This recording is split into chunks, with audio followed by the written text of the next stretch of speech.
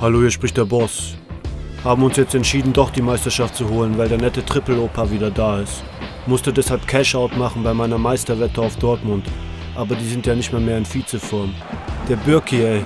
Was macht er eigentlich beruflich? Der kriegt öfter was hinten rein als ein Umzugswagen. Wenn er so weitermacht, kann der bald Werbung für Waschmittel machen. Text. So eine weiße Weste hatte ich noch nie. Jetzt also nach Hamburg. Das wird er echt noch antreten müssen. Weil das so leicht ist, wird ein Auswärtsspiel beim HSV von unseren Urlaubstagen abgezogen. Nervt hart. Na gut, ich muss los. Der James hat mich gefragt, wo Carlo hin ist und was er hier noch soll. Ich zeige ihm jetzt mal, wie man den Pool im Vereinsheim chlort. Bis bald, euer Jerome.